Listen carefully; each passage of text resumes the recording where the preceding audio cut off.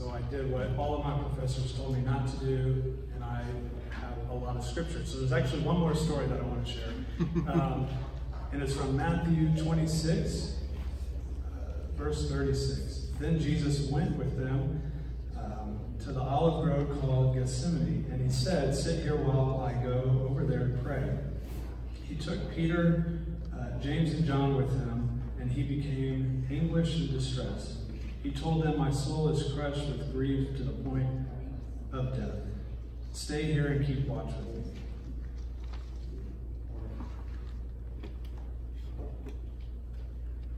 To pray real quick.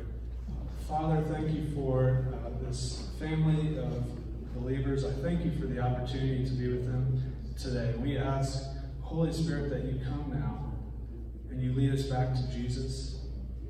And Jesus, would you lead us to the Father? I thank you uh, so much for this uh, communion. Would you bless the Holy Spirit? We ask this in your name. Amen.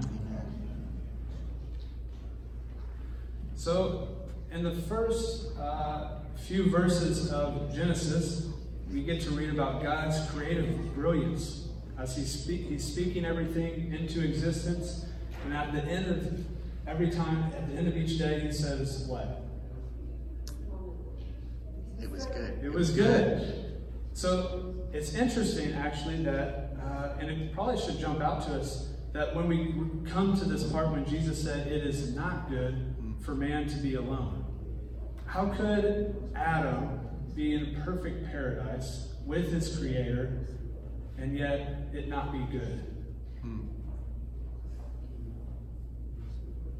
I believe the answer to that statement could uh, lie in God's uh, statement to us and when he says, let us make human beings in our image to be like us. Who is, who is the us that God is talking about here? Who is he talking to? Father, Son, and Holy Spirit. Exactly. So Christian theologians throughout the centuries have pointed to this fact that uh, this is the uh, where we find the Trinity: Father, Son, and Holy Spirit. So in the first few passages of Scripture, we get to witness God's overflow of love, His uh, creative uh, brilliance, that He brings uh, humans into existence. Uh, but again, it, it points back to why why is Adam not good enough? Well, I believe this implies that um, though our relationship with the Father alone is good, it's not enough. So, um, God creates Eve out of uh, the bone from Adam. And what does Adam say when he comes across to, to Eve? He says, At last, this is bone for my bone, flesh for my flesh. In other words, as some have proposed, he, what he's really getting at here is he's saying, You fill that void of loneliness within. And so here, the journey of friendship in Scripture is established. Um, so maybe uh, Genesis 1 could, could read something like this In the beginning, there was friendship between the Father, Son, and Holy Spirit. Yet God wanted more friends. So being made in the image of the triune God means that we're capable of friendship with one another. Friendship with God, but also one another. It's important that we have both. Of course, we, we know that it, it took us, what, a few verses to mess it all up.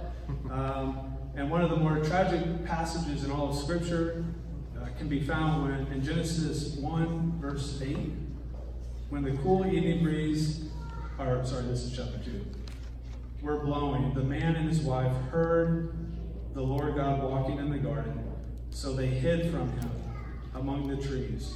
And he cried out, Where are you? I've been fascinated. So, Wilmore's kind of an interesting place. Have you all heard of the Enneagram? Mm-hmm. Yes. Okay. Well, if you go to Wilmore and you sit down at any table, the first thing that someone's, they're not going to ask your name. It's going to be, what's your number? Um, so I was curious. I looked up how many personality tests there are. There's over 25,000 or 2,500 uh, personality tests that you can take to find out more about yourself or more about your wife, their husband. um, why do we need personality tests? I wonder if it's because our, our generation uh, has lost the art of friendship and lost the art of conversation. So we have to generate personality tests in order to get to know one another better because we don't know how to have conversation with one another. Um, and so I think this all goes back to Genesis 1 uh, through chapter 3. Uh, some of the scholars in the room they could they could say something else, but I believe one of the main themes throughout all of Scripture is this journey uh, of God trying to restore this friendship that we had in the garden when we walked and we talked with Him. And so we get to the New Testament and we uh, meet Jesus, uh, God in flesh. So Jesus comes to restore this fractured relationship um, with Him but also with one another. And we see Jesus in, at the start of his ministry start inviting people back to begin that walk with him that was once uh, started in the Garden of Eden. and so I want to talk about, um, well, introduce you to Jesus' ministry. Uh, more importantly, Jesus' friendship with uh, the disciples um, and the crowd in general. So, really quickly, you can uh, look at Jesus' ministry in almost three different layers. So he ministered to the crowds, and they were attracted to him uh, just by he raised people from the dead. He casted out demons. And so, as anybody would, you would probably be attracted to this man. But also, Jesus called 12 disciples to him. And of course, we know that there were other closer disciples, but specifically, Scripture talks about these 12 disciples that walked with Jesus from town to town. They ate with him. Uh, Jesus taught him, taught all of the disciples. Um, but even more so from these three stories that were read, Jesus had uh, an inner circle, as some scholars like to call it uh, Peter, James, and John. I, I'm just fascinated. Why, why did Jesus choose to draw close to these three men? And why does Scripture specifically make the point that he took them aside separately? What is, what's going on there? Um, and we know that these three men, Jesus clearly had an impact on them. They were the first that he called and he named. Uh, they encouraged Paul's mission to the Gentiles. They planted churches. They wrote letters that we still read today. And ultimately, these three men, they lay down their life for their friend Jesus.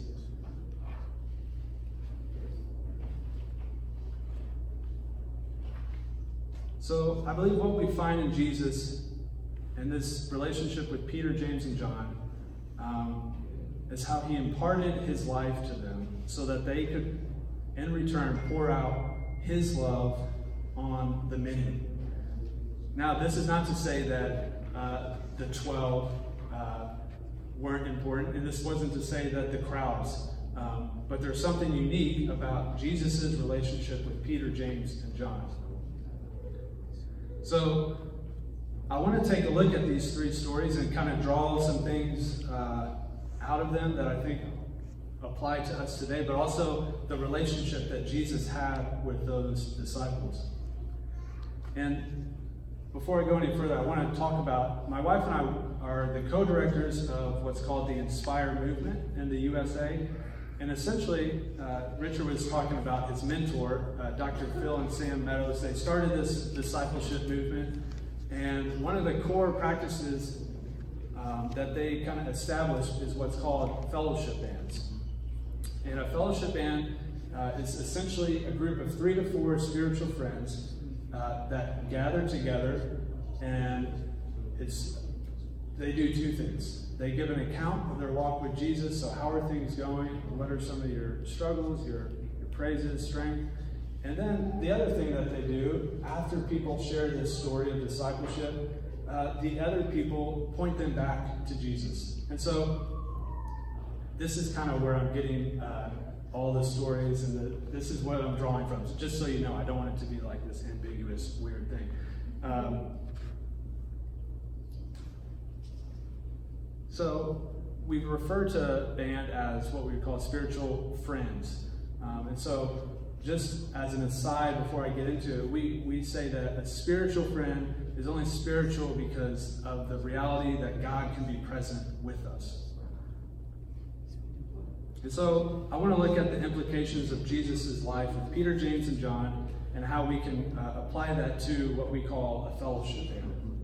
And so the first thing that you can draw out of these three stories is that Jesus drew close to Peter, James, and John so that they could draw close and see his ministry up firsthand. At the house of Jairus, they got to witness Jesus' ministry of compassion as he looked on to the, to the mother and father. As you can imagine, imagine they were in anguish over this lost girl. They also got to see firsthand uh, Jesus' response to the mockers. And ultimately, they got to witness Jesus bind up the brokenhearted and raise this girl back to life. On the mountain, they saw Jesus as the fulfillment of the Old Testament and how now the most important thing for them is to know Him. As they heard, This is my beloved Son, what? Listen to Him. In the garden, they got to witness Jesus' ministry of prayer and surrender. As he fell on his knees and prayed to the Father, they got to see firsthand um, uh, what it looked like to be in surrender. But not only that, I wonder if uh, a light bulb went off when Jesus is praying out to the Father as he taught them, this is how you pray for times like this when you're in anguish. This is what it looks like uh, to have this intimate relationship with the Father when your life is falling apart around you. So why do why would we draw close uh, to one another in this fellowship band? Uh, we're convicted around because when we draw close to one another, uh, Jesus, as he says, he promises that when two or three are gathered, there I am with you. What if Jesus actually meant where two or three were there? We often read like the whole church, which is good. Uh, of course, Jesus is present now. His Holy Spirit is with us. But what if he actually meant there's something unique about the two or three? And band, uh, we gather, like I said, to, to share our ministry of discipleship with one another uh, and to help each other see Jesus in each other's life. Do you have a space that you can do that? Um, our culture doesn't make it easy for us to have uh, friends that are actually uh, deep and where you know each other, uh, still love each other no matter what. And I think part of the problem is uh, the rise of consumerism, uh, individualism, where as soon as somebody wrongs you, what do you typically, well, I typically, see ya, uh, you're not beneficial to me anymore, and I'll, I'll just go my separate way. Um, there's something deeply uh, rooted in our culture where we keep people at a distance unless they're benefiting us, and we'll draw close to them, and as soon as they don't, we'll just move on. So what would it look like uh, to have friends who, even if they take you off, even if they wrong you, what would it look like to still be in relationship with them? Um, and of course, there's a lot of dynamics. So I, the overall gist, though, is we don't typically have friends who know us at a deep level, uh, even though we may fall or do something to harm them, that they still stick with us. So in a band, friendship with one another becomes the means by which we become friends with Jesus. Where two or three are gathered, there I am with you. The second thing that we can draw from these three stories is uh, how Jesus invited Peter, James, and John into the depths of his soul. At the house of Jairus, they saw Jesus' little heart uh, for the girl.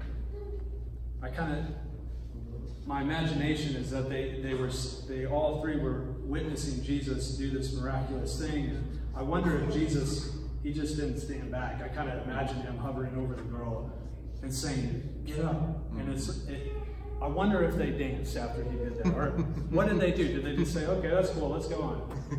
I don't know. On the mountain, they got to uh, witness Jesus in all of his glory, and they were able to revel in his joy. Do you have friends that you can revel in their joy?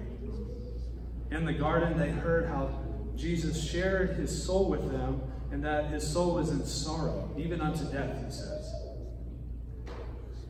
Why is it important for us today to share our soul with one another? Well, I believe it's because true spiritual friends are people who know us completely. They know us all the way down, and yet they still love us. This type of uh, vulnerability obviously requires authenticity.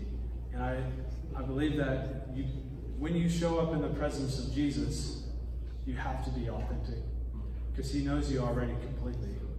So what, what does it look like to invite uh, two or three other people into that relationship? Of course, again, what is our cultural moment? As you, uh, this podcast I love, it's a great one. You should check it out. Cultural moment. Um, what is our cultural moment? What, why do we struggle at letting people kind of beneath the surface? Well, I wonder if it's because of cell phones and the rise of social media, where I could have 2,000 friends on Facebook. I could share something every day, but yet they probably only know 1% of my life. And the 1% that they do know is probably going to be the best percentage that I could share, unless, you know, you get the occasional person who likes to share everything.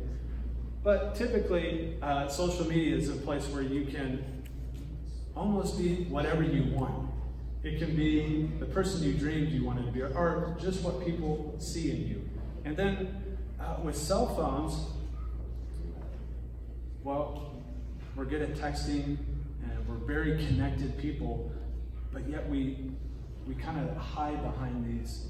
I'm not saying they're all bad and evil, but where is the line? And how do we actually uh, develop strong relationships with, with, people in the culture of uh, the internet? And yeah, so I still think we need to have a presence and we need to be people who are spreading the gospel in those areas. But Jesus invited his friends to know them deeply. So in band, we invite friends to know us completely and trust that they'll share the love of Christ with us and lead us back to him. The third thing that Jesus invited Peter, James, and John into is to share in his mission and his goal in life. At the house of Jairus, uh, Jesus' disciples learned that uh, joining his mission to the world would mean binding up the brokenhearted, unveiling the eyes of the lost, and ultimately sharing the same love with others. From their mountaintop experience, they learned that uh, the journey of discipleship is about staying in step with Jesus. And it can be tempting to worship Jesus' blessings in our life instead of Jesus himself. Hmm. You know, they were tempted uh, as they uh, witnessed this miraculous thing. Why don't we set up a, what they call it, not a temple, uh, a tabernacle? Why don't we worship? I wonder if Jesus has left some of us because he walked down the mountain and we're still up worshiping things that were, one, amazing. God did an amazing work in our life maybe 20 years ago. But we're still up on the mountain and Jesus, he, he walked. He kept walking down.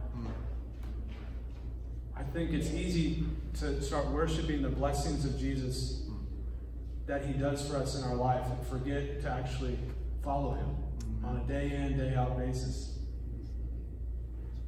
In the garden, they learned uh, that following Jesus isn't an easy path. In fact, Jesus, he never promises us a comfortable life in this world. What he does promise, though, in his great commission, as he sends out his disciples, as he sends out his friends to befriend the others, he makes an amazing promise that we often overlook what? That he will be with us always to the end of the age. So, what does it look like for us to join Jesus' mission and his goal in life? Well, uh, we talk about in our movement how it means following Jesus more faithfully in the day to day.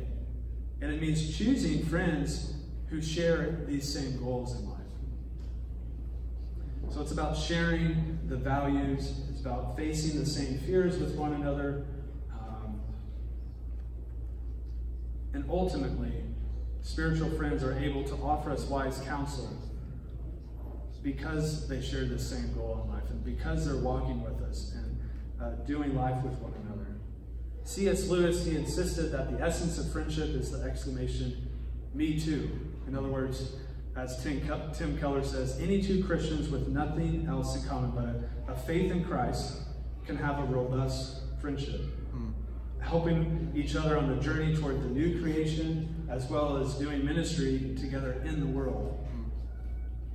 So for this reason, it can be very difficult to hold true to our faith and walk with Jesus on a day in and day out basis if we don't have friends who help us keep our eyes on him. Amen. We need friends who can help us follow Jesus. Now, don't hear what I'm not saying. I'm not saying we don't befriend uh, people who don't know Jesus. But we have to have uh, friendships in our life where they can help us uh, stay on the narrow path. Because the, the culture around us, it's very easy for us to get uh, swerved and to, and to miss the mark. So in band, we gather to help one another uh, fix our eyes on Him, the one who uh, raises the dead and the one who speaks life into us. And the last thing, uh, Jesus needed companions on the way. At the house of Jairus, uh, Jesus didn't invite them in because he was lonely or he was scared of, of the opportunity. Rather, he chose to include them on the presence because he actually wanted them to be with him. Jesus chose uh, his friends to go up to the mountain because he wanted them to share in his joy. In the garden, Jesus, Jesus chose to open up his life because he needed friends to watch over his soul. So today, uh, why do we need companions? For us in bands, uh, it's about becoming servants of one another. It's where we practice hospitality, where we bear one another's burdens, we offer comfort, provide encouragement, and speak the truth in love. And I truly believe uh, when John Wesley said there is no such thing as being a solitary Christian. In other words, we need the help of others to pursue Jesus' way of life. And we need the help of others because we're easily distracted. Um, the journey of discipleship is not easy.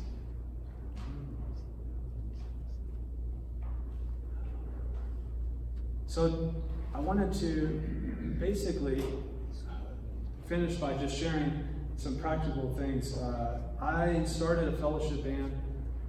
Well, I met Dr. Meadows three years ago, and I've been in a band with him uh, ever since. And something amazing happens in a band because we do believe that when we gather together that Jesus is actually present. Um, and just some things in my life that I once struggled with on a day in and day out basis, things and thought patterns and sinful, destructive things that I would do in my life.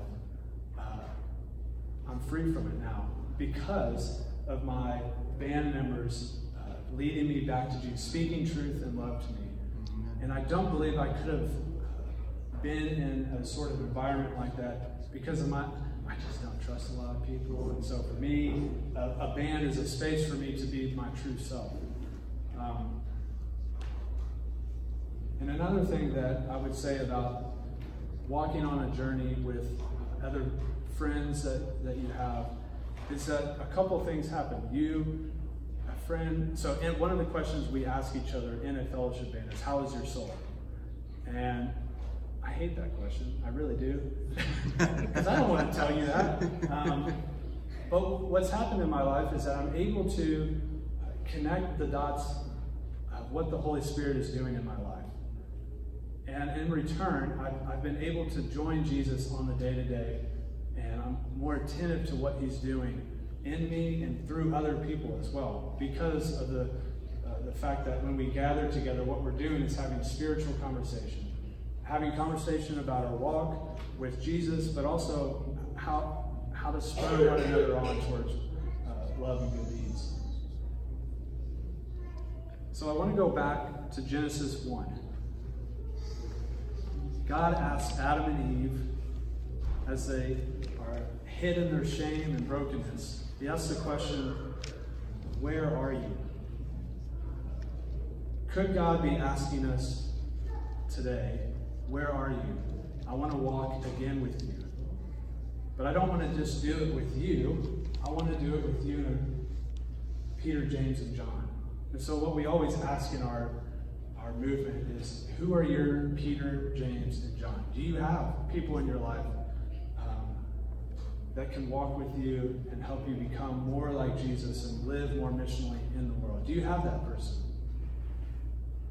So I often wonder if we fail in our discipleship to Jesus because we try to do it by ourselves. After all, this is an American idol that we're the self-made people, right? We did it ourselves. Where Jesus, Jesus' life was not like that. He was a, a man of complete surrender and obedience to the Father, and he lived in the power of the Spirit. Um, and so, what if the greatest thing we can offer one another is the gift of friendship? Hmm. In a generation that there's not many people who have close friendships. In fact, I, I've done some, a little research with Dr. Meadows about just the statistics on friendship in our culture. And it's less than 3% of people that the research and data shows that they have someone in their life that they trust completely, they know them in and out. Less than 3% in our culture. And that's been a decline of like six, I want to say 50 to 60% over the last 50 years.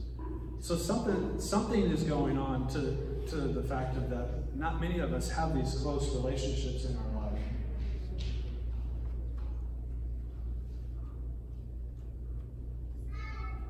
So I want to end by just inviting you into this practice of fellowship it can be one of the most impactful things you ever do in your journey of discipleship to Jesus. Um, and I believe that we can learn from these three stories. Jesus needed, should I say, he wanted three other people to do life with. Are we above our master? Do we have uh, space in our life where we can help one another uh, pursue him grow more in his likeness. Amen.